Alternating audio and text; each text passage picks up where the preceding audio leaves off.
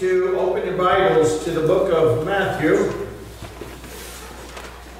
and chapter number 6.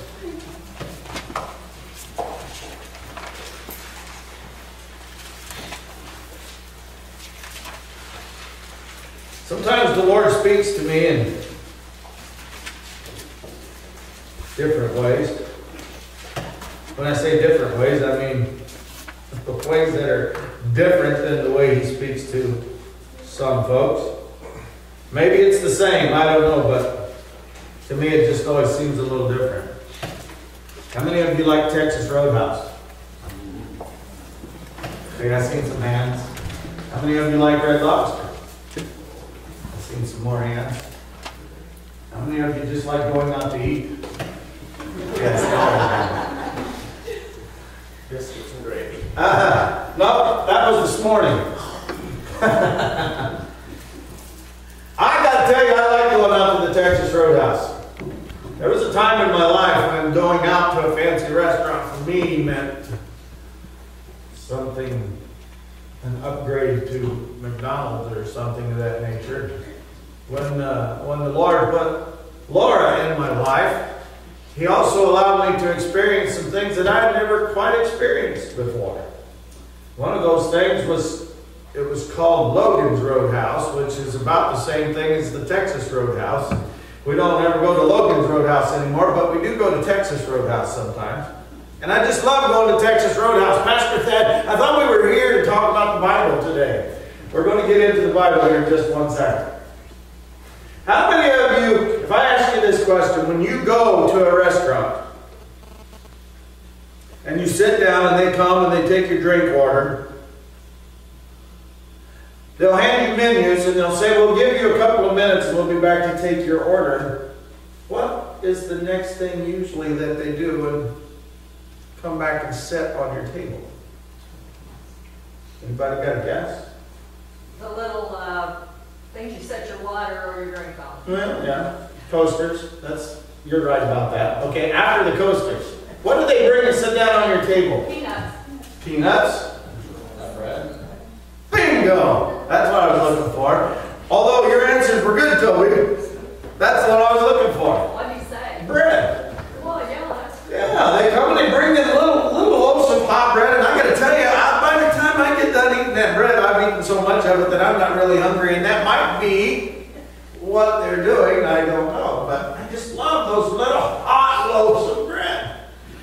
If you're in Texas Roadhouse, they come and, and I know we're on the internet right now, and I'm in no way trying to promote a one restaurant over another, but we, I just love going to Texas Roadhouse because of that cinnamon butter and that little hot loaf of bread.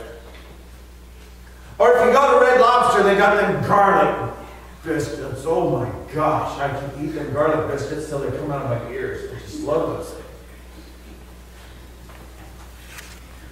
We were at Red Lobster a couple of weeks ago for our anniversary, and the Lord first spoke to me about this.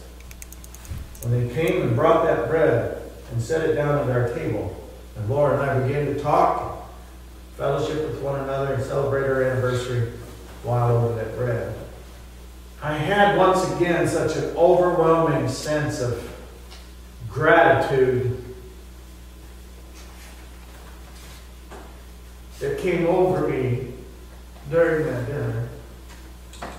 About like I had this morning with the biscuits and gravy. The Lord is so good to us. Say that with me. The Lord is so good to us.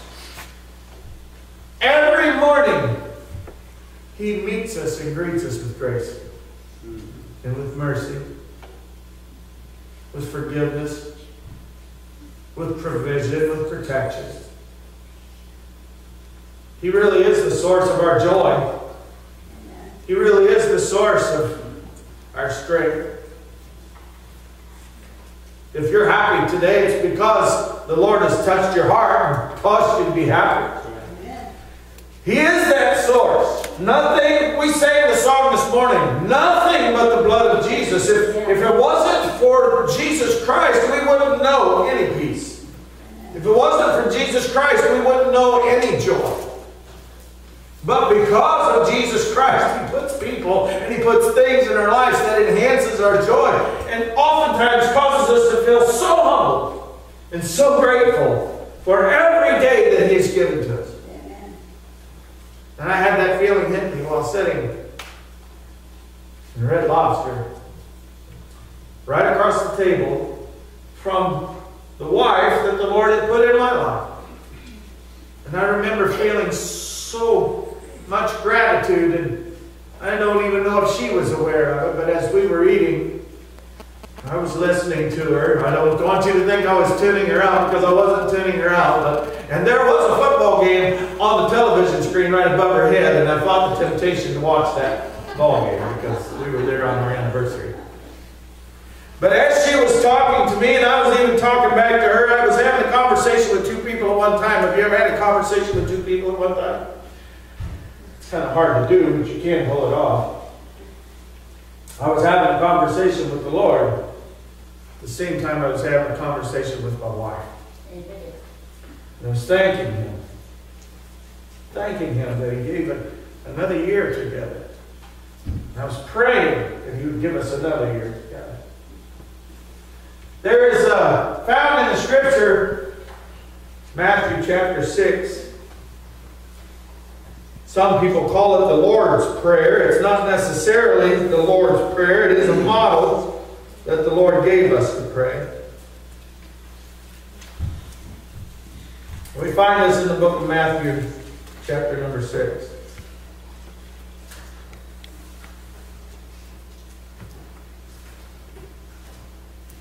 In most of my prayers, I ask God for things that I need on a daily basis. Many of you do the same thing? That's what we do in the morning. We wake up in the morning, we thank the Lord for another day, we seek His face on, on behalf of grace and mercy. I don't know about you, but I ask for the Lord's righteousness to be given to me on a daily basis because the Scripture teaches us that we don't have any righteousness of our own. We've dedicated our lives, folks, to the furtherance of the gospel of Jesus Christ.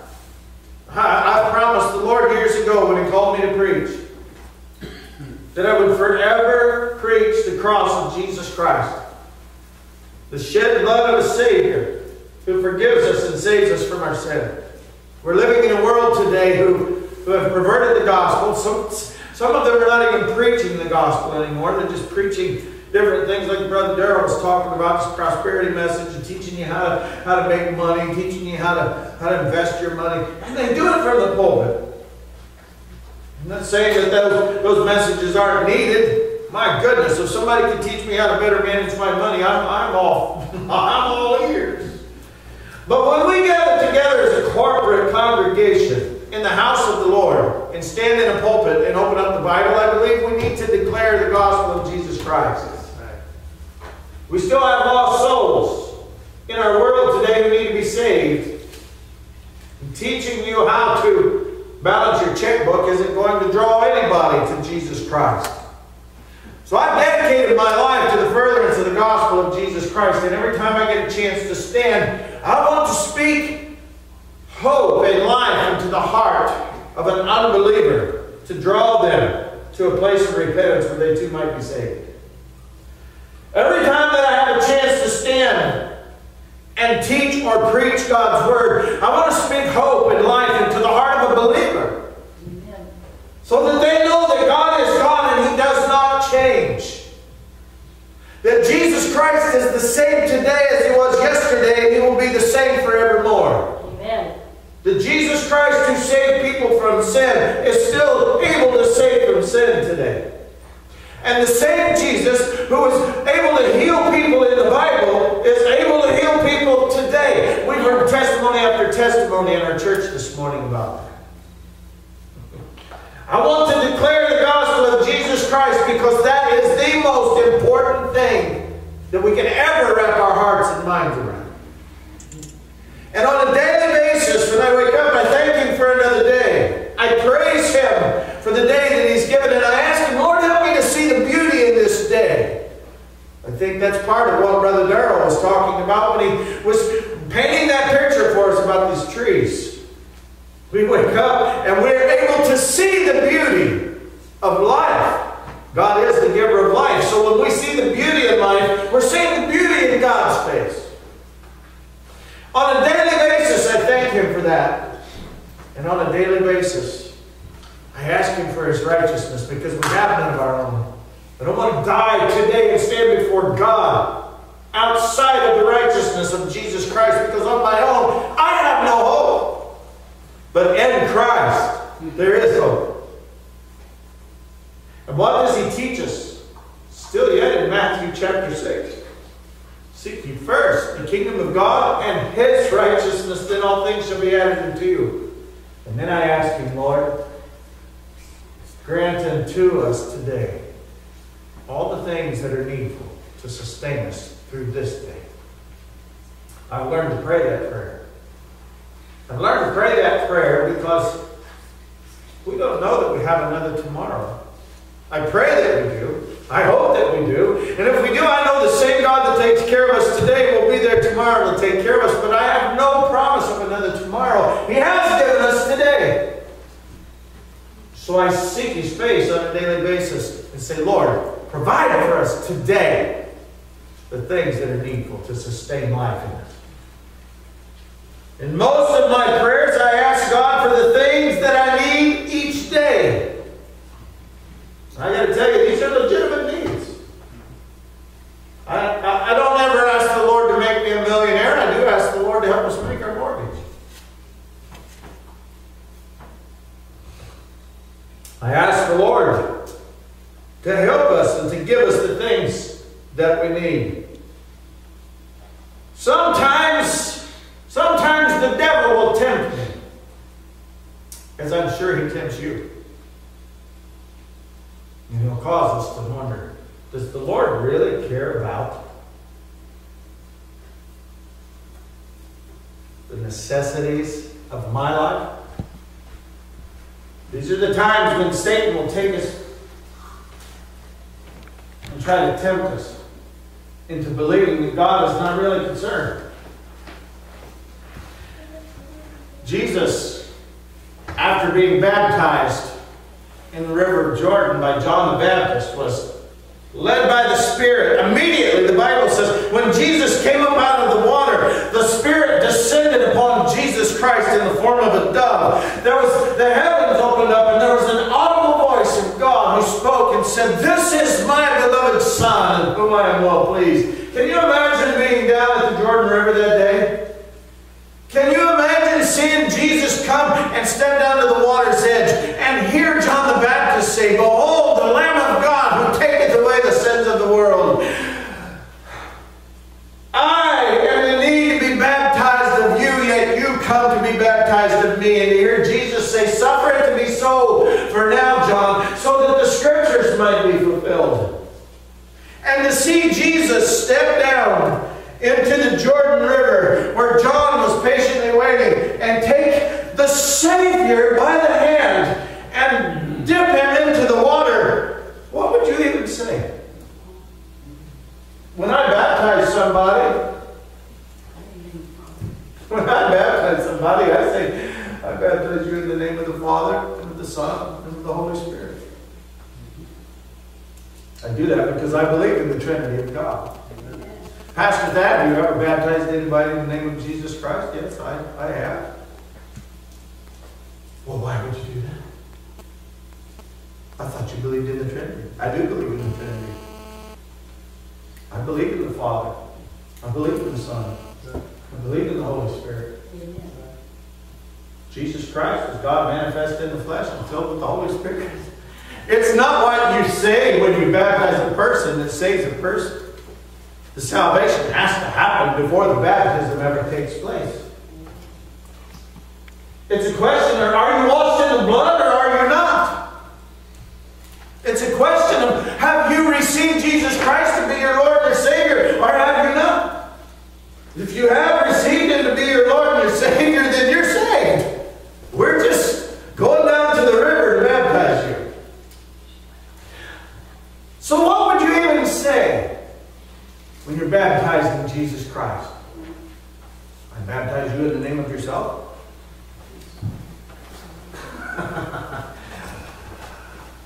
but could you imagine what it must have been like to have been there to have seen John say, I baptize you in the name of the Father and of the Son and of the Holy Spirit, and put him in the water and lift him up out of the water and see the dove descend upon the head of Jesus Christ, to hear that, to see the heavens open up and the, and the voice of God audibly boom down, This is my beloved Son in whom I am well pleased. Can you imagine what it must have been like to have been there that day?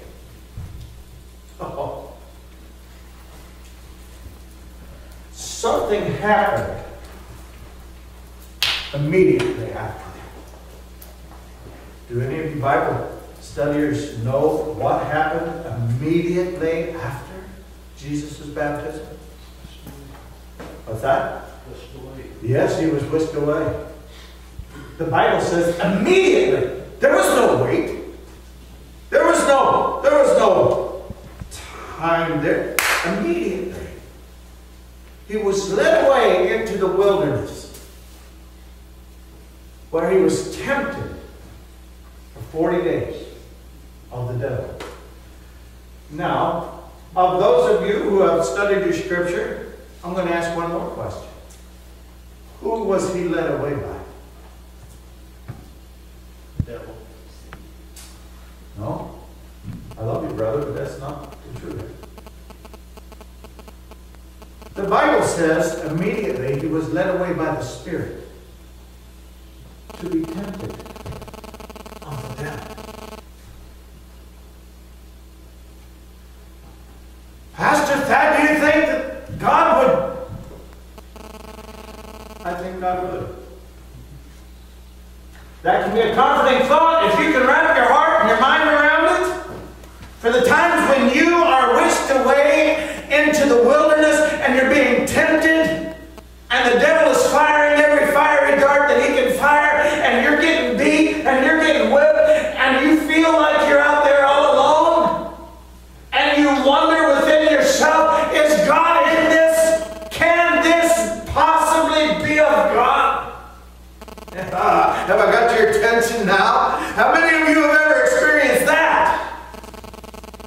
It'll help you to come to understand that immediately Jesus was led away into the wilderness by the Spirit to be tempted of the devil for 40 days, a month and 10 days. Jesus was tempted of the devil. Does anybody? I'm going to say some things to you today that is going to absolutely challenge your heart. It might even make you bite your lip and look at me cross-eyed. But we need to understand biblical truth if we are ever going to have any hope of walking in the Spirit. The book of James teaches us. I'm going to paint a picture right now that some of you are going to be so uncomfortable with. To be honest with you, I'm absolutely uncomfortable teaching. So if you're uncomfortable hearing it, I understand. But the scripture says, "You shall know the truth, and the truth shall make you free." The book of James teaches us that every man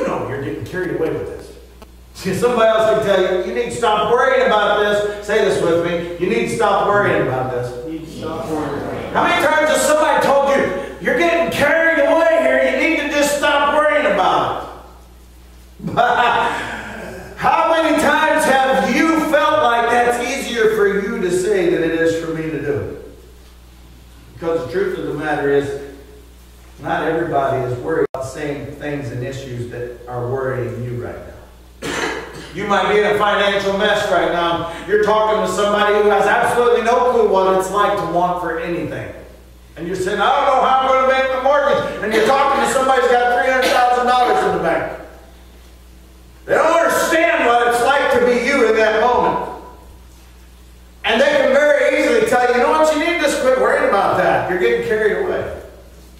On the inside, you're thinking, my gosh, that was brazen.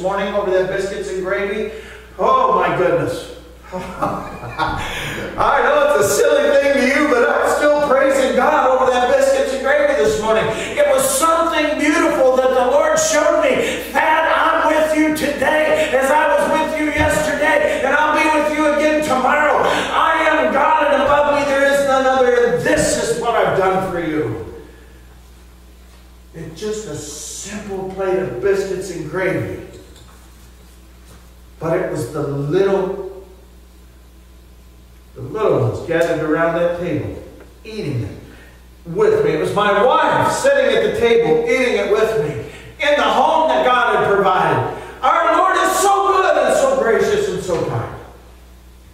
We worry about tomorrow, and we wind up missing today. How many of you have worried so much about tomorrow that you absolutely missed today? How many of you are so concerned about yesterday that you don't see God's grace in the moment today? People fight one of two battles. They are either stuck in what happened yesterday, or they are stuck on what has not yet happened tomorrow, and we fail to see God today. Hmm. I want to see Him today. Amen. I want to feel Him today. Amen. I want to hear Him today. I want to feel His touch on me today. It don't matter. It don't matter whether I felt Him or heard Him yesterday. I want to feel Him and hear Him today. And I'm not going to, I'm not going to miss His touch and His voice today, thinking about what might or might not happen tomorrow, because tomorrow might not be here. Lord Jesus, give us this day our daily bread. Isn't that what He taught us to pray? Give us this day our daily bread. Read with me Matthew chapter 6. I'm going to start at verse number 7. Say amen if you're there. But when you pray, use not vain repetitions as the heathen do, for they think that they shall be heard for their much speak.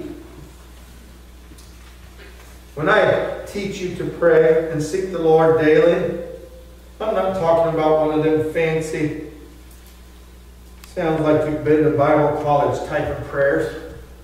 Our dear gracious Heavenly Father, we come before Thee this wonderful, beautiful day. Come on. I mean, there might be a place and a time for that. But that's not necessarily what God is looking for. God's looking for your commitment to Him. God's committed to you. He's looking for your commitment to Him. And let me tell you something I've learned. God blesses faithfulness. When you are out in the wilderness and you don't know how things are going to go, you can rest assured that God has a plan and a purpose and that He absolutely blesses faithfulness. Amen.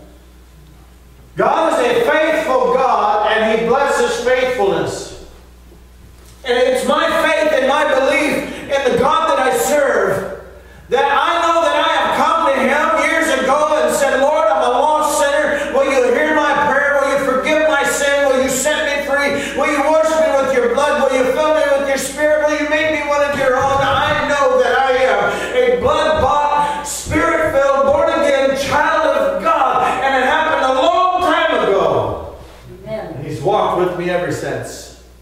He's been a faithful God. He's blessed me over and over and over and over again. He is faithful, so He therefore blesses faithfulness. We need to walk faithful to God, have a faithful prayer life. This is what Jesus is teaching us here. Be not ye therefore like unto them, for your Father knoweth what things ye have need of before you ask Him. Well, if He already knows my need, then why in the world do I got to take the time out of my day to ask Him? he might know what it is that you have need of. I know that my children need to have something to eat. Laura woke up this morning knowing that we needed to have breakfast. I don't think she had a clue that the Lord was going to minister to my heart the way that He did when she woke up and decided to make biscuits and gravy for breakfast this morning. She just did what the Lord has her to do. She had a house full of kids and a husband that can eat like a Clydesdale. And she knew she had to make breakfast. She knew I needed to eat. She knew those kids needed to eat. She just naturally did that. God naturally does things for us. But listen, I know that she is willing to do things for me. I believe she'd walk through fire for me. But if I don't tell her that I need this or that I need that, she ain't going to know. And therefore, she may or may not just bring it and give it to me. But if I tell her that I need it, then I know she's going to provide it. And it's the same way with God. He knows what it is that we need before we ever even ask Him. But we have to ask Him. We have to say, Lord, I'm in need of this today. It shows our faith. It shows our belief that God is real. It shows our belief that we believe that He will provide for us. After this manner, therefore, pray ye, Our Father which art in heaven, hallowed be thy name. I am so I am so tempted right now to just break this down and teach it, but if I do, I want to get away from the message that's on my heart. So follow with me. Our Father which art in heaven, hallowed be thy name. Thy kingdom come, thy will be done in earth as it is in heaven. My goodness, there's so much here. Folks, I don't know, we may wind up in a serious message here because I'm having a million things come to me right now. Give us this day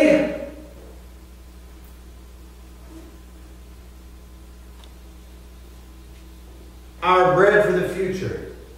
Is that what that says? No, it says, Give us this day our daily bread.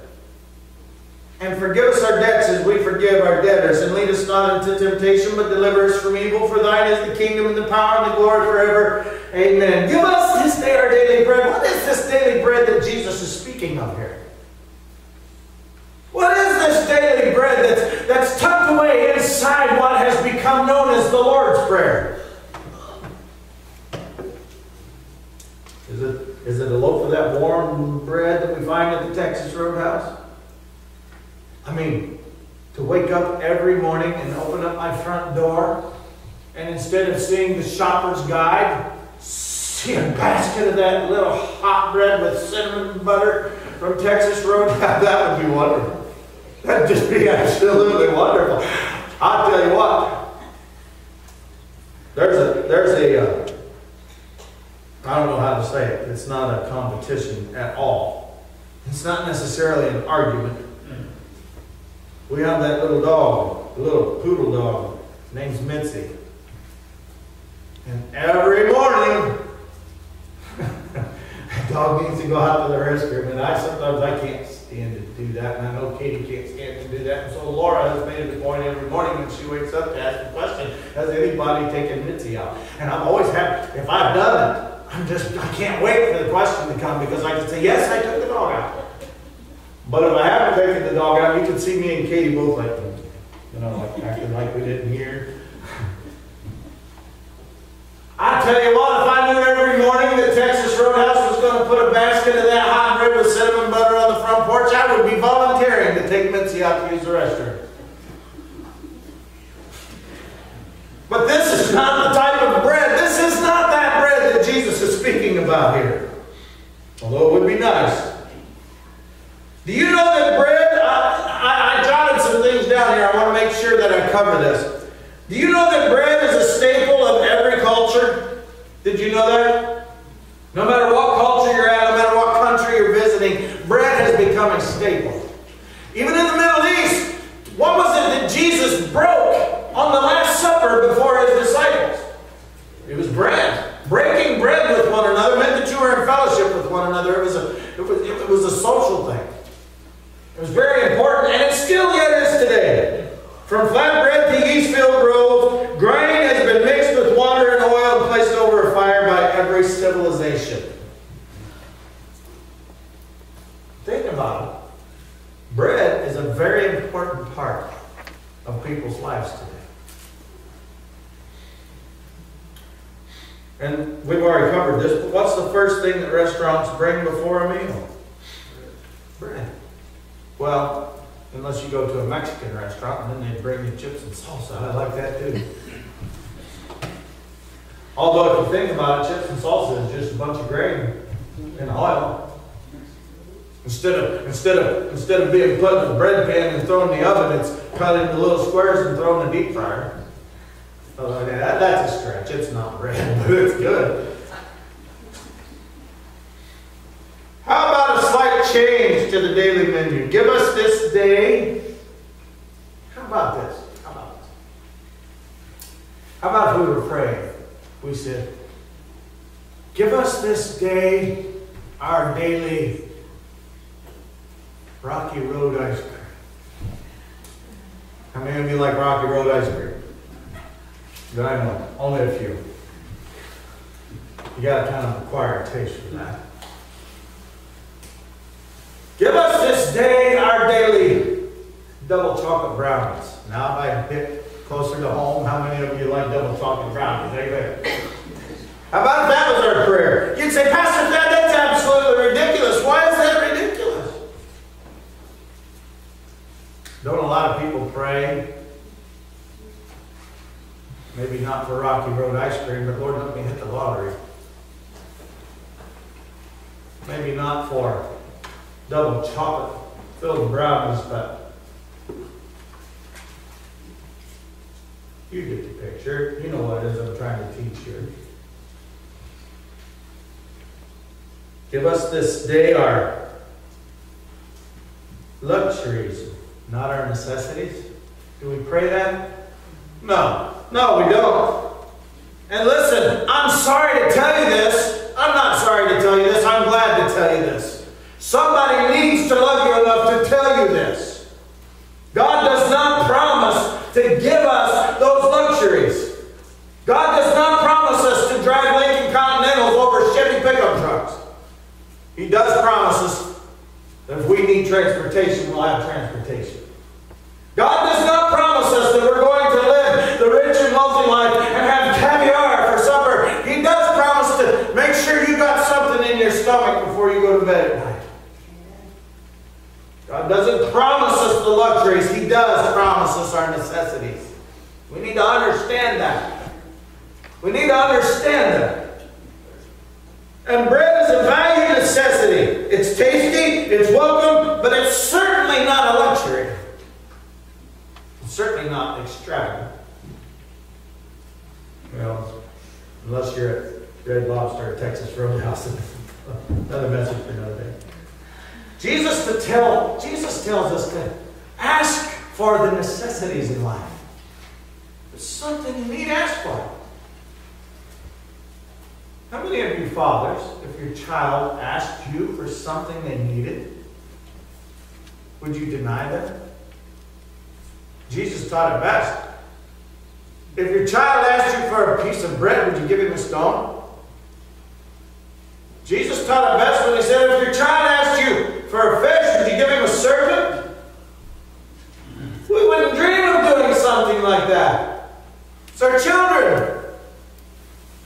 Then he says, How can you, being evil, give good gifts to your children? How much more will your Father who is in heaven give unto you who ask? Amen. We have not, James teaches us, because we ask not. Some of us ask, but we ask amiss. I can ask Jesus until I'm blue in the face, Lord, give me this day my daily Rocky Road ice cream. I may or may not get Rocky Road ice cream. If I do, I'm convinced it's because Laura already knows that I like Rocky Road ice cream, and she may be going through the grocery store today, and she may walk by the. My mouth is starting to water. and I'm not casting no ends here, but I'm trying to teach a lesson. She may be walking through the grocery store today. She may walk by the freezer section. She may see Rocky Road ice cream, and she may think, my husband would like that, and she may buy a gallon or two or five. But it would be because Laura followed me, not because I said, Lord, will you give me Rocky Road ice cream today? Now, there are those out there who would rip me apart for saying that. Those are the same ones who are in this name it and claim it crowd. Another message for another day. The Lord will absolutely grant us what we need. We were lost and needed to be saved. He granted us a Savior. Amen. The Lord grants us what we need. Bread is a valued necessity. It's tasty, it's welcome, but it's certainly not extravagant. Jesus tells us to ask for the necessities in life, and He does promise to provide them. Soon after, I mean, stay with me, stay with me. Getting ready to close here. Stay with me. Matthew chapter 6, still yet in Matthew chapter 6. Let's flip forward to verse number 26. Or verse number 25.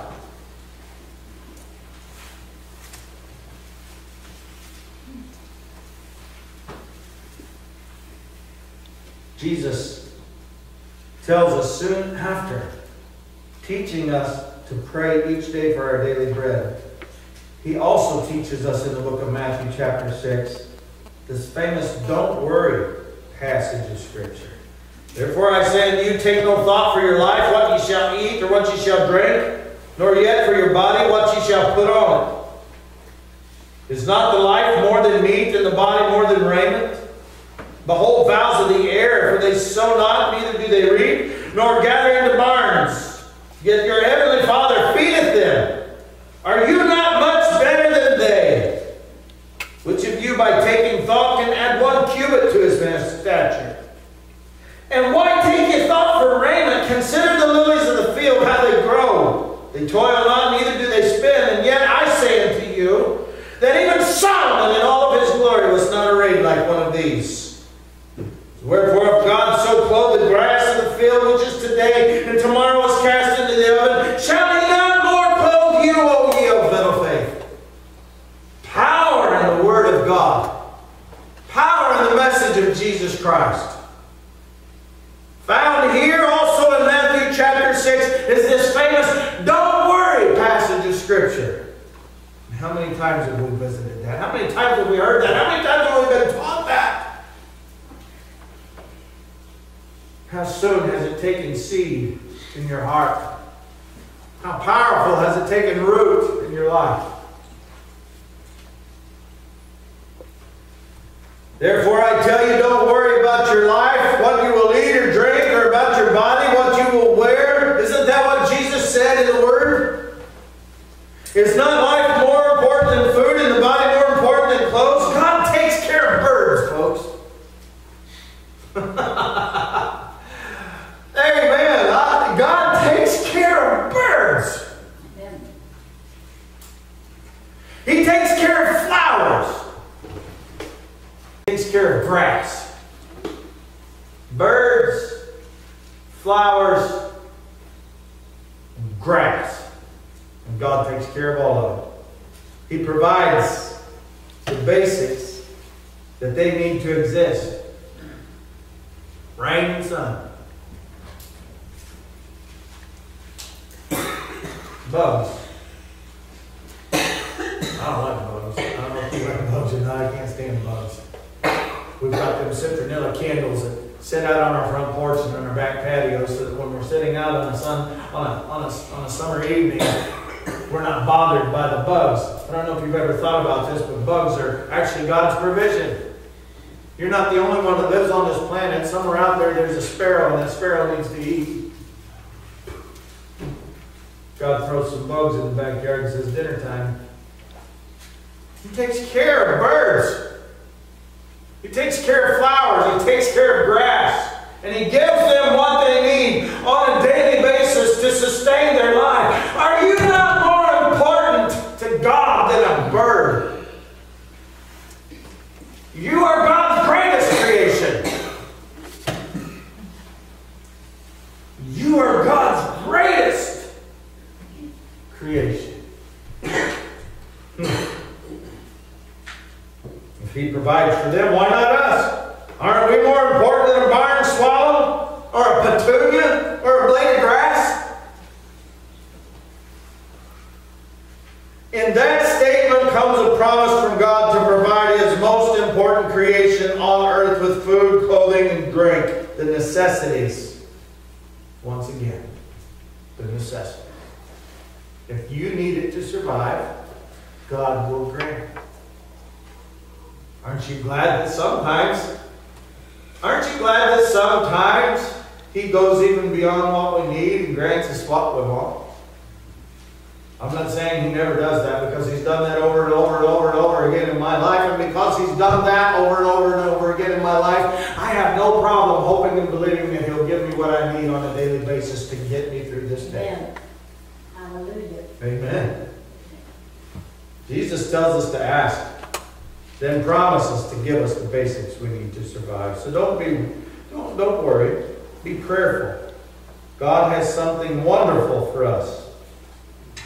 Bacon in his eye. That wonderful bread of life.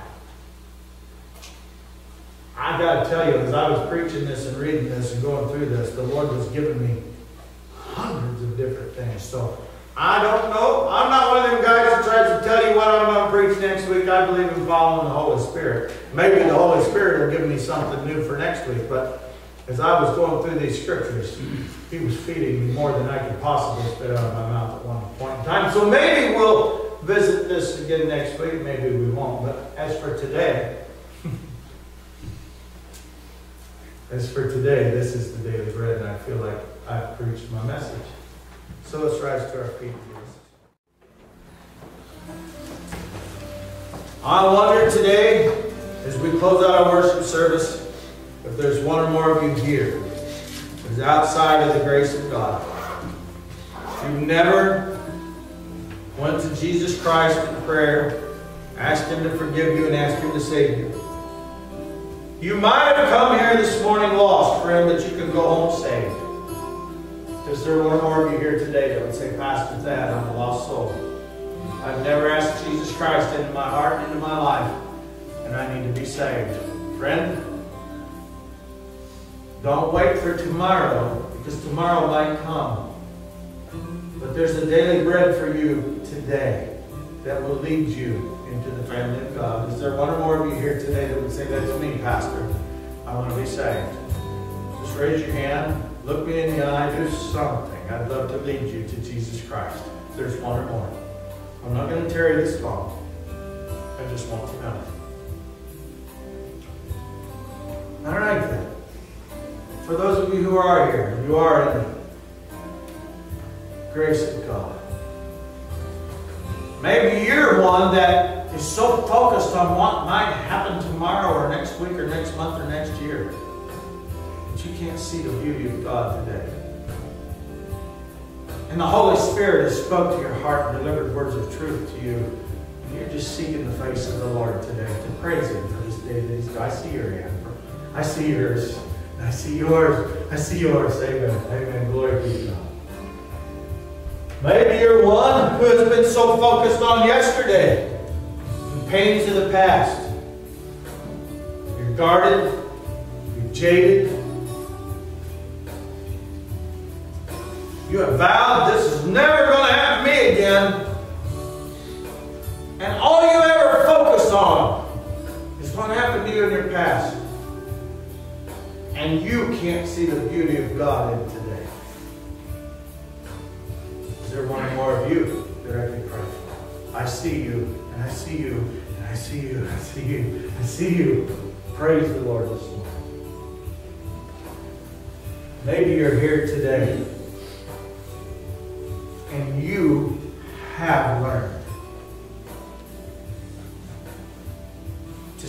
God for today and to see His beauty. And you're just praising Him because He's confirmed something in your heart that you've already learned, that you already know. Is there one or more of you? I see you, and I see you, and I see you, and I see you. Father God, I come before you today, and I just want to praise you. I want to praise you for this little church where we can come and fellowship and preach and teach and just be straightforward and honest and true. I want to praise you, Lord, because we can receive the things that challenge our hearts. Lord, if we be not challenged, we be not changed. So I praise you today for the challenge and for the change. Lord, there are those here by their own admission that are so focused on what might happen somewhere in the future that they fail to see you in the present. I pray thee, Lord, as they, as they seek your face in this moment, hear their prayers, Lord. Strengthen them and, and, and, and deliver them, Lord. And help them to see your beauty. Give them courage. Give them hope. Allow them to know, Lord, that they're in your hands. That you will provide. Lord, there are others who are here today by their own admission that are so focused on their past that they can't see you and your beauty in the present. I pray thee, Lord, that you would heal those open wounds. I pray thee, Lord, that you would deliver them from that, from that wilderness. And bring them, Lord, into a place of grace where they can recognize you and see you and hear you and feel you and touch you. Help them, Lord, is only the way that you can. And Father, for the many who have raised their hand and by their own admission have said, listen, I learned this lesson a long time ago. I'm just very thankful every day that I live that God is present in my life. And they're just praising you this morning, Lord. Whatever, whatever the need is in this church house today, I lift all of these, all of these people to you. And ask, Lord, that you hear their prayers and answer them according to your will and to your purpose. Father, I love these people, each and every one. And I know that you do too. So I'm going to ask you once again, Lord, please keep them all safe from harm's way. And bring us back on our next appointed time where once again we can worship you in spirit and in truth. All honor, glory, worship, and praise we give unto thee. For it's in Jesus' name that we pray. Amen.